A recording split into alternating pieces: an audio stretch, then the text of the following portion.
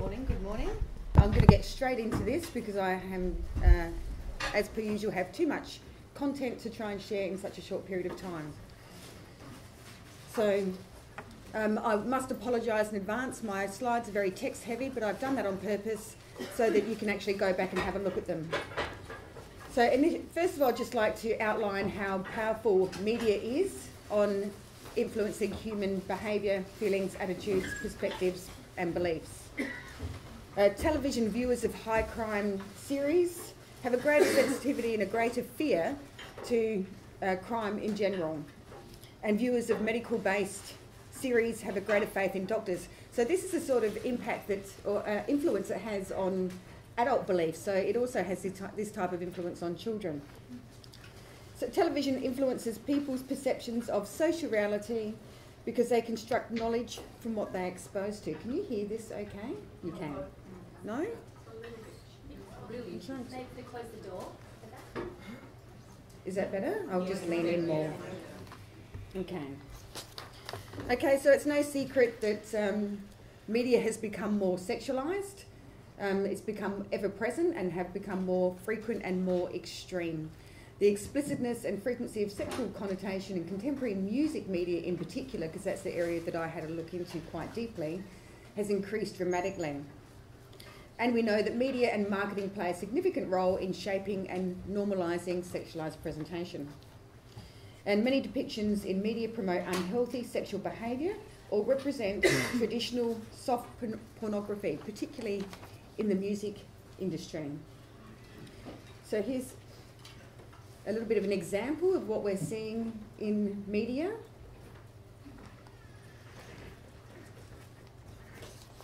In 2013, I did a study, a content analysis on music videos.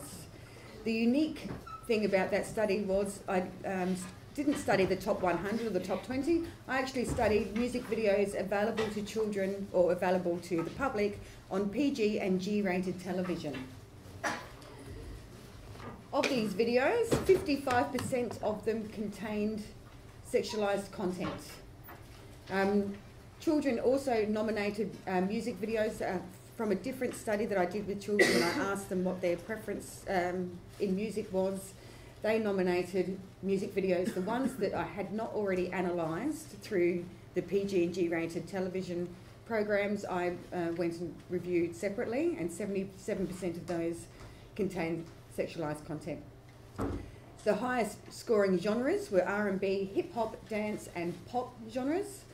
Um, and these were also children's preferred genres. The most sexualised codes were lyrics, dress, and non dance movements. Uh, in 2013, the highest scoring artists were Beyonce, Katy Perry, Lady Gaga, and Miley Cyrus. They had several um, depictions of sexualized content, but also the duration of the music video was quite high in sexualized content as well. Here's some of the examples of um, the images that, ch that children are being exposed to in music media on PG and G rated television. As you can see, we've got uh, sex-inspired body stockings, dominatrix stock, uh, costumes and bondage-type apparatus, nakedness, and Katy Perry has a tendency to um, integrate cutesy and erotica. This is a problem because Australian children engage quite a lot with media. Um, the latest research, which is quite old now, 2006, uh, 2010, um, found that Children aged 8 to 17 year olds engage with media 4 hours and 49 minutes per day on average. They're starting to embrace new technologies, so they're not just watching TV, they're um, engaging with media on iPhones, iPads, internet, etc. There's a rise in technology ownership. Children from 8 years of age uh, commonly have their own mobile phones now. And because I looked at music media, I looked at um, children's engagement with music media specifically, and 18% of 5 to 8 year olds and 43% of 9 to 11 year olds uh, are downloading music media from the internet. So, as we know, um, the internet is very difficult to regulate and has very limited classifications. I interviewed children, oh, 103 children singularly, so 51 year grade ones and, and 52 year fours, to find out what um, music media they engage with. So I'd ask them questions around who's their favourite music artists, what's their favourite music video, and who they think are the most popular male and female music artists. 52% of children preferred sexualised music videos and artists. So they, their favourite artist um, displayed some sort of sexual connotation. And 62% identified artists who displayed some level of sexual signification as the most popular. So they're recognising that um, the most popular music artists are the ones that present more sexually, or they may not be noticing that, but um, it might be that they are more popular because they're uh, presenting sexually.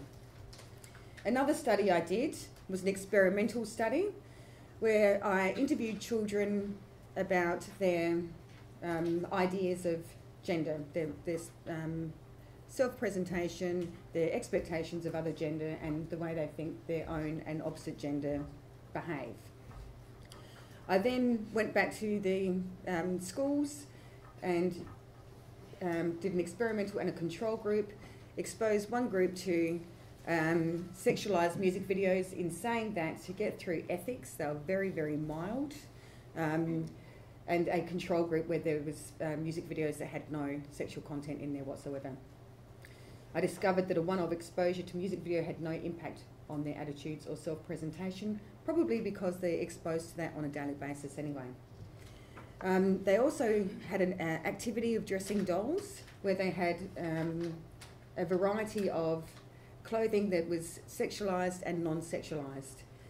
Uh, 78% of children dress their female music artist sexually. They were asked to dress a um, doll in as a female singer and a doll as a male singer. They were also asked to dress a doll in clothes that they prefer and then clothes that they prefer for their own and opposite gender. So, yes, 78% dress their female music artist sexually as opposed to 30% when dressing their male artist.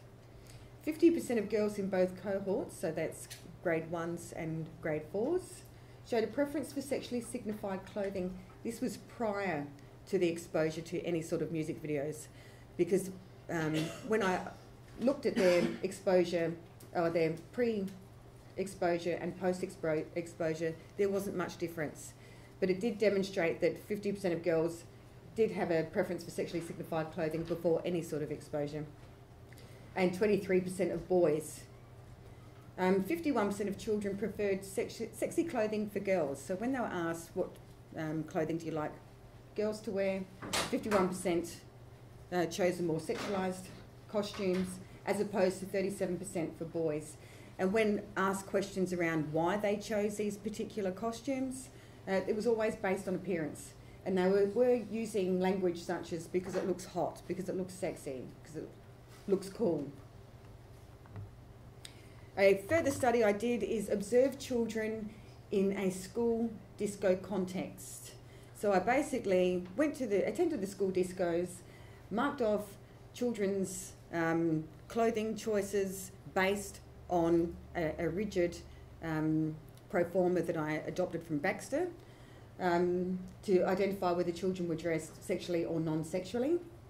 Some of the um, sexualised demonstrations were things like low cut tops, heavy makeup, um, micro mini shorts or skirts, um, tank tops with very low gaping sides, etc. So I observed uh, 366 children overall, and you can see the breakdown of their age groups. Um, 119 children were further observed if they displayed some sort of sexualised behaviour. So if they were dancing sexually or um, engaging in flirting behaviours, um, self-stroking, that type of thing. 27% um, of children dressed in a way that signified adult sexuality, so it's 99 children, and 33% engaged in sexually signified conduct, so dance and flirtatious behaviours. Uh, an example of that was um, an F2 foundation to two girls, so around about aged 5 to 8. was wearing a miniskirt, t-shirt and wearing makeup. Her movements included rotating hips and shoulders and thrusting her crotch and pouting her lips. And a F2 boy had the hands on the back of his head, sort of crutching his, um, thrusting his crutch forward, very much like you see in music videos. In the upper levels, had four year three to seven girls dancing to Low by Flo Rida. So they were all sort of crouching down seductively, running their hands slowly up and down their thighs, rotating shoulders, etc. And I'll let you just have a quick read of um, the clothing that they were wearing rather than me actually read it out to you.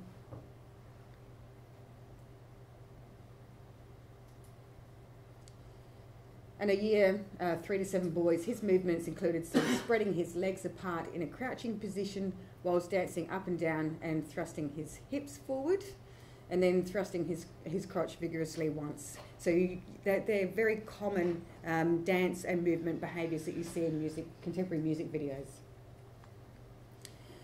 Um, there was also evidence, and obviously, when we're observing children, we can't say, we can't claim that that's direct evidence of them imitating music artists, even though they are um, copying the types of behaviours and dance movements that music artists um, portray.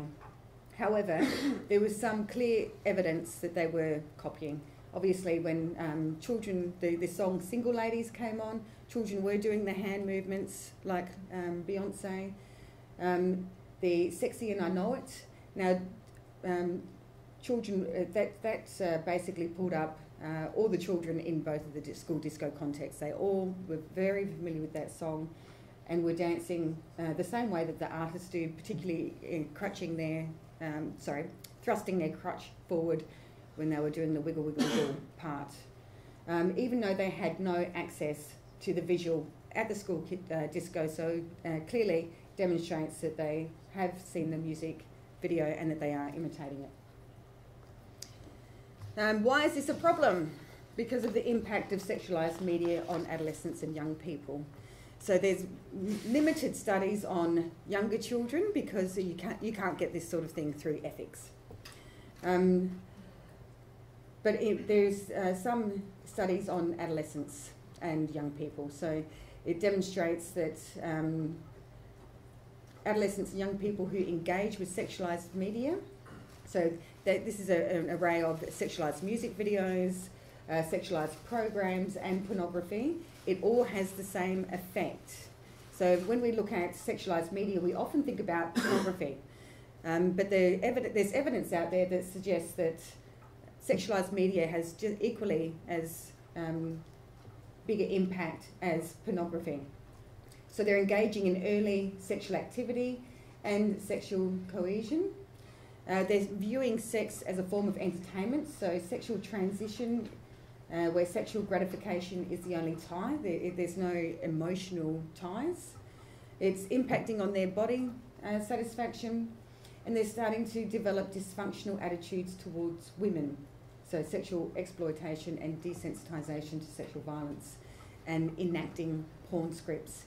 Now, another finding in my uh, second study when I was discussing with children about gender role and self identity and what they thought about other genders, one of the questions I asked them was um, when girls and boys play together, who's in charge of the game? And the majority of them said boys. And they were quite okay with that. That was an expectation that boys were in charge of the game.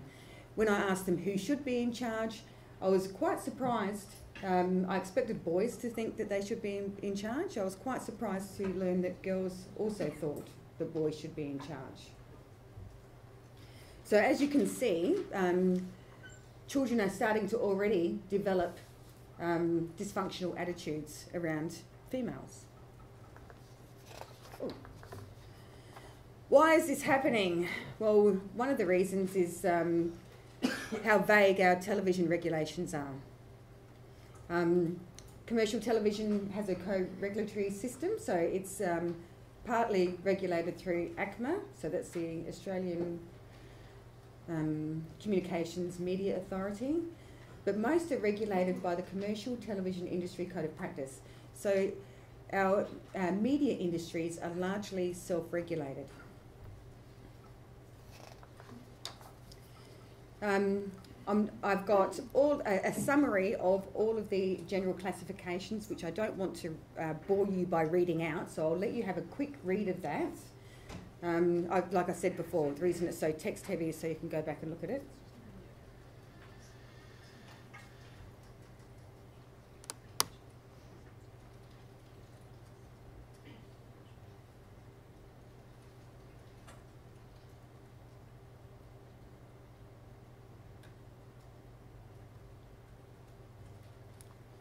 We done? Yep. Okay, so some of the questions that I pose is what is very mild in impact?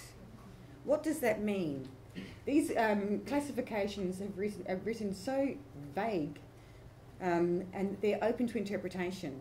There is no operational definitions for what these, this language means. So it makes it very difficult when you're trying to lodge a complaint. What does restrained, brief, and very little detail mean? Thank you. Mild, coarse language. How can you have mild, coarse language? and justified by the storyline or program context. That's one of my favourites.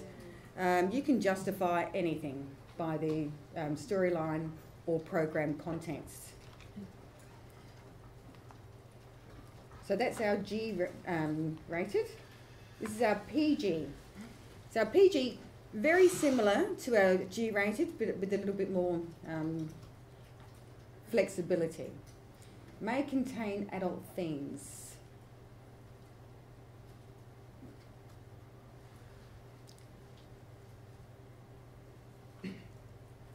So if you have a look at um, some of the content that they're allowed to show in parental guidance um, recommended television, there's, there is um, a, quite a challenge for parents. Suicide permitted but not promoted. It's, I'm not quite sure what they're meaning by that. Should be handled carefully. So this is your uh, Social and domestic conflict and psychological themes should be handled carefully. Our rated M theme, as you can see, because it's um, aimed at people aged 15 years and, and over, there's a lot more flexibility there to, uh, for adult themes.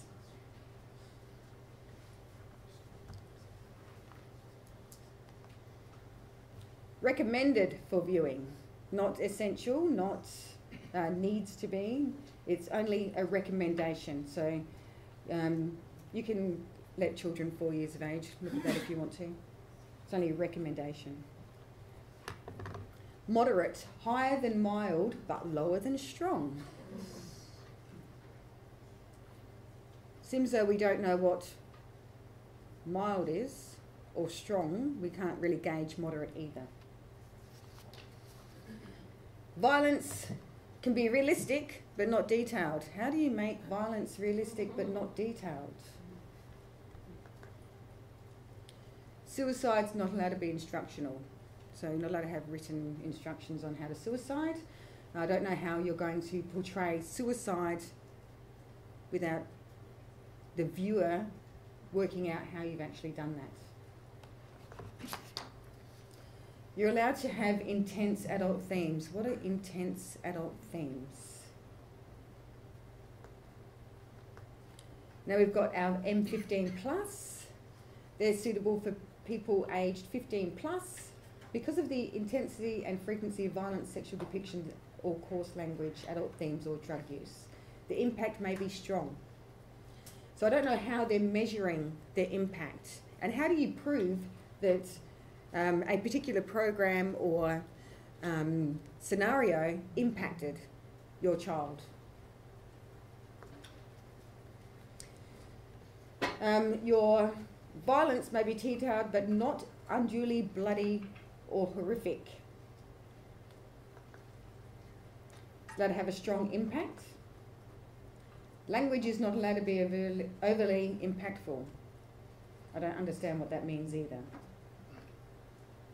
Non consensual sex, so rape, must not be re- represented as desirable. Now, the, some of the concerns around um, the vagueness and of our classifications, our current codes and regulations in media, is when when this material is allowed to be on. So you've got your uh, PG and G rated, can be broadcast at any time. When you have a look at some of the um, language used and how open to interpretation it is, it can make it actually very difficult to argue any type of complaint um, because it, I've, I've actually done it. I saw a music video that I thought looked like um, a strip club, lap dancing. I wrote a complaint. Somebody viewed it and decided that there was nothing wrong with it. They didn't interpret it as um, lap dancing, even though there was actually a woman dancing on somebody's lap and then a bucket of water over her. Um, and they just dismissed the complaint, saying that it was well within the codes of regulation. And again, that was on PG rated television. Um, it's quite concerning when you consider some of the adult themes in M and N15 plus that these are allowed to be viewed or broadcast from 7:30 and then 8:30 p.m. So this means that all young children, or even children who's uh, too young, too development, developmentally immature to be able to interpret some of the themes and material that they're going to be exposed to.